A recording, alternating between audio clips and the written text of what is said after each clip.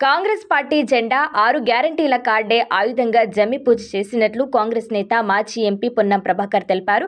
సిద్దిపేట జిల్లా హుస్నాబాద్ కాంగ్రెస్ పార్టీ కార్యాలయంలో పార్టీ శ్రేణులతో కలిసి సతీ సమేతంగా పొన్నం ప్రభాకర్ జమ్మి పూజ నిర్వహించారు.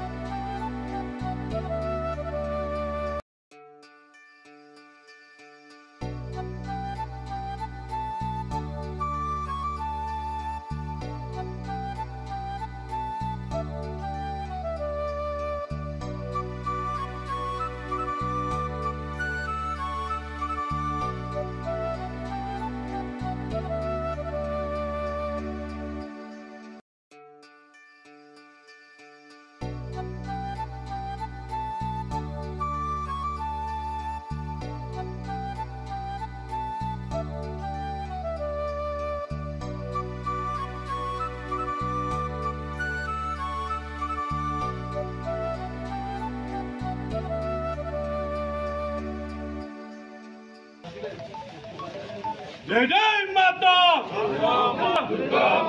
జై జై మాతా! విజయదశమి పర్వదినాన అందరికీ విజయం కలగాలని ఇప్పుడే జంబి పూజ చేసుకున్నాం హుస్నాబాద్లో. ఈ సందర్భంగా తప్పకుండా ప్రజలు హుస్నాబాద్ మార్పు కోరుకొని అందరికీ విజయం కలిగే విధంగా ఆశీర్వదిస్తారని ఆశిస్తూ హుస్నాబాద్ ప్రజలందరి ఆశీర్వచన కూడా ఈ సందర్భంగా కోరుతా ఉన్నాం.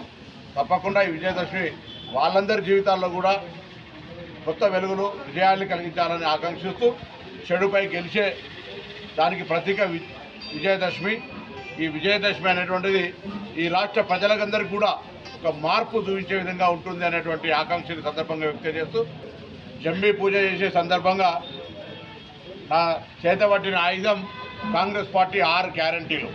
ఈ ఆరు గ్యారంటీలతోటి తప్పకుండా ప్రజలు మమ్మల్ని ఆశీర్వదిస్తారు ప్రజలు విజయం కలిగజేస్తారు. ఆ విధమైనటువంటి ఆశీర్వచనం వల్ల విజయదశమి రోజు జంబి చెట్టు దగ్గర తీసుకొని ఆయుధ పూజ చేసుకోవడం జరిగింది.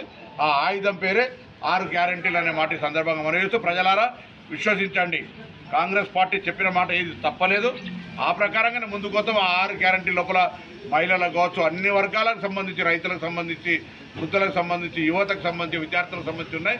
వాటిని స్వీకరించి కార్డు రాని వాళ్ళు ఎవరైనా ఉంటే మా నాయకులను ఇంటికి పిలుచుకొని ఆ గ్యారంటీ కార్డు తీసుకోవాల్సిందని సందర్భంగా కోరుతాం.